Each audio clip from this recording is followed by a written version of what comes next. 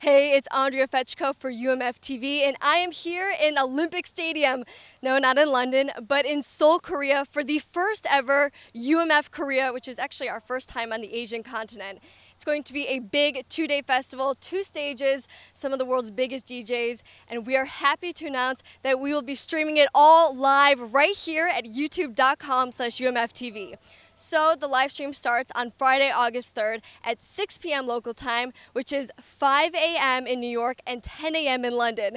So set your alarm clocks and get ready to party with us here at youtube.com slash umftv.